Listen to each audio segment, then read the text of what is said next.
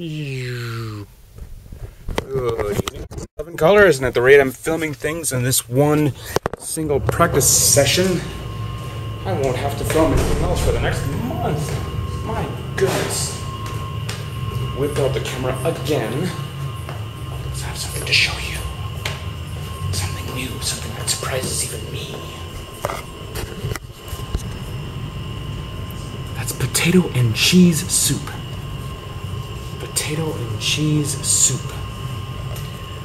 This machine doesn't take Suica, so I'll have to pull out some change.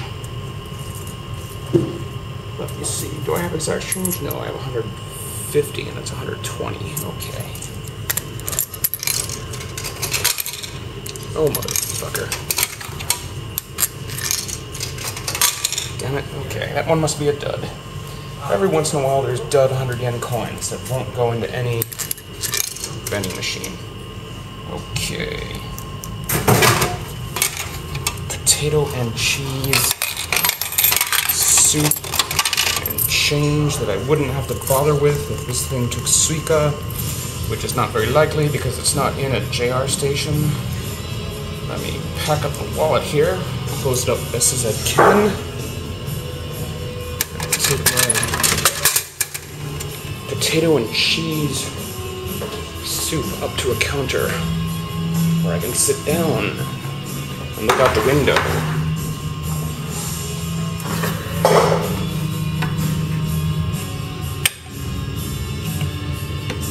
Spotted some. Looks soupy. Not seeing any chunks of anything in there.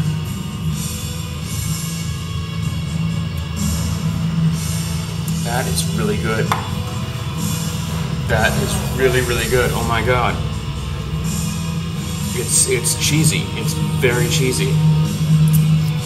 Mm, mm, mm, mm. Okay, I see what it is. On the label here. Let's see if you can see that. Uh, mascarpone cheese.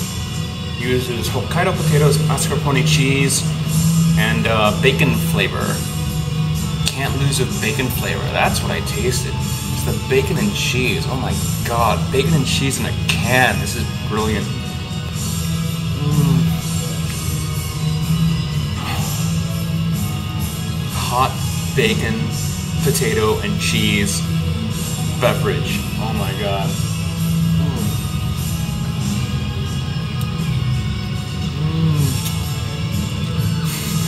Mm. And this picture, what that text bottom is, is an example of how it would be served, as if someone would. It's that good. It's good enough to pour in a bowl and eat with an actual soup. This is brilliant. No chunks of anything in there. Just tasty. There's some black pepper in there too, I think.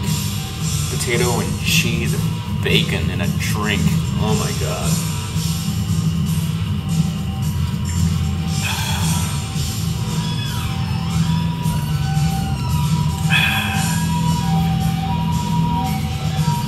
Ambulance. This has been 11 Colors, and thank you for watching.